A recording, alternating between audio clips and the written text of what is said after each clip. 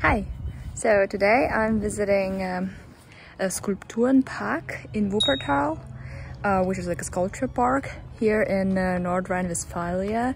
And um, it's a park that was uh, created by Tony Cragg, British slash German artist. He moved to Germany many, many years ago and now um, he's got this wonderful sculpture park and I'm gonna show you a little bit of it today. The work of Tony Cragg is a successful marriage between the materials and movement. Cragg admits he was at some point inspired by the dancer Pina Bausch, influential artist and the founder of Tanztheater Wuppertal, Pina Bausch. Just as our eyes follow the dancer's movements, the Cragg sculpture makes us follow his abrupt lines and creates an original dynamic. It is by no means a museum of one artist. Cragg invited many other sculptors to create for his park.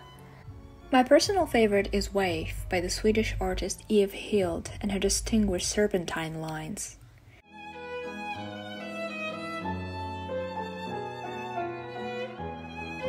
Or the work of the Spanish artist Jaume Plensa, Mariana W.'s World.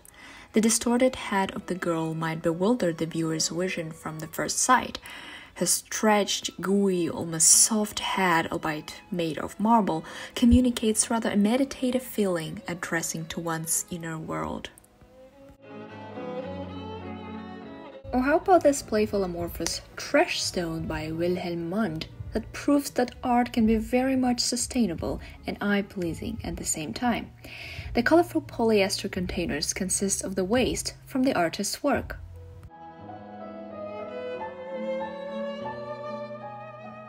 Roaming around the sculptures and trees, or hiding in one of the two pavilions with the temporary exhibitions, is your choice.